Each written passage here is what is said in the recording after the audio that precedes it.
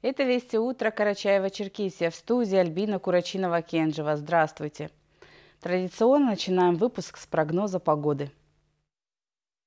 В Карачаево-Черкесии местами кратковременный дождь, гроза. Ночью в отдельных районах сильный дождь с градом и шквалистым ветром до 23 метров в секунду. Ветер восточный 6-11 метров. Температура воздуха ночью плюс 9-14, в горах плюс 3, плюс 8. Днем до плюс 24 тепла и местами до плюс 15.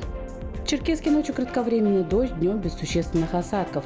Ветер восточный 6-11 метров в секунду. Температура воздуха ночью плюс 12-14, днем плюс 21-23 тепла.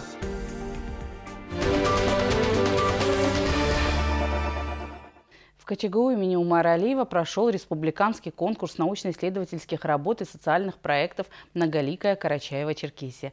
В нем участвовали школьники и студенты колледжей вместе со своими научными руководителями. Данный конкурс проводится в целях развития интеллектуально-творческого потенциала обучающихся путем совершенствования навыков исследовательской работы. Подробнее расскажет Алихан Лепшоков. Участники республиканского конкурса «Многоликая Карачаева-Черкесия» состязались по таким номинациям, как политика, экономика, история и культура. Это прекрасная возможность детям развивать научно-исследовательские навыки, имея важное значение для их будущей профессиональной и личностной ориентации. Проректор по научно-исследовательской работе КЧГУ Марина Кубанова подчеркнула, что данный конкурс уже является традиционным, который собирает талантливую молодежь республики. Приветствую на нашем мероприятий и надеюсь, что э, оно будет очень знаковым в вашей жизни.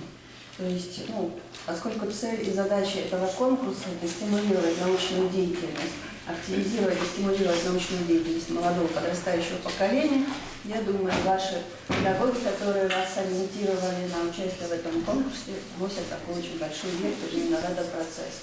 Роль молодежи в политической жизни региона, условия успеха молодежного бизнеса, экономика Карачаева-Черкесии в условиях ужесточения санкций, история перспективы развития туризма в республике, здоровый образ жизни и вредные привычки, искусство изготовления войлочных ковров, истории населенных пунктов региона и многие другие темы были освещены юными исследователями. Сегодня я вам расскажу о происхождении халвы. Халву готовят все народы нашей республики. Консервативные этнокультурные традиции абазин тесно переплетены с кулинарным изобретением предков, которым дорожат абазины сегодня. В рамках конкурса для всех участников была организована экскурсия по археологическому музею КЧГУ. Его заведующий Ахмад Айбазов рассказал о представленных экспонатах и ответил на вопросы ребят. У нас э, музей отличается тем, что он исключительно археологический, я уже повторяюсь, видимо, это все находки, они обнаружены на территории Карачаева-Черкесии. Чтобы вы понимали важность э, во всех смыслах, самым древним предметом э, является предмет, которым более 5000 лет на сегодняшний день.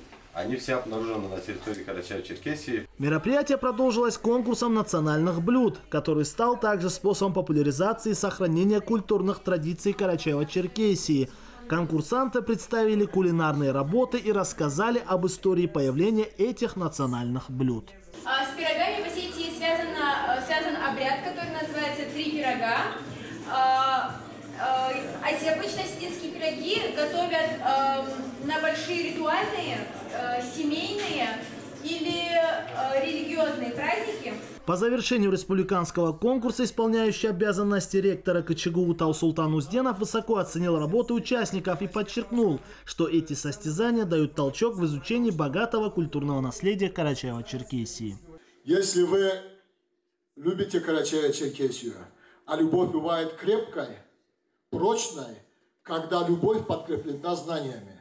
Наши эмоции, чувства, они продолжительны, они нерушимы, как, когда дополняются чем? Пониманием, осознанием.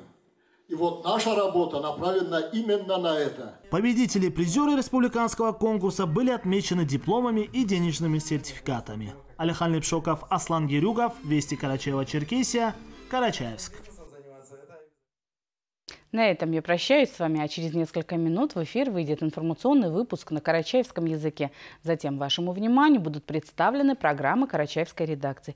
А в 14.30 смотрите «Вести» с Аллой Динаевой. Удачного дня и до встречи в эфире.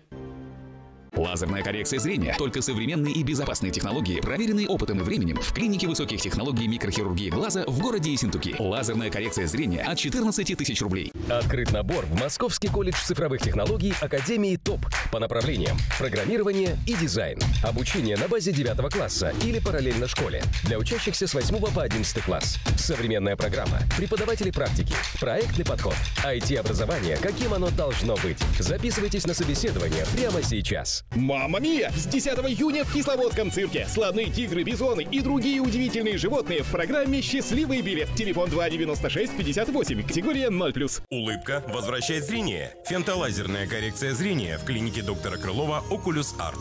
Даваторцев 39А. 43 73 87. Только 9 и 10 июня с 9 до 19 часов пройдет ярмарка от белорусской фирмы «Марка». Женские и мужские модели обуви из натуральной кожи, а также куртки и ветровки. Черкесск, улица Горького, 8. Центр развития предпринимательства.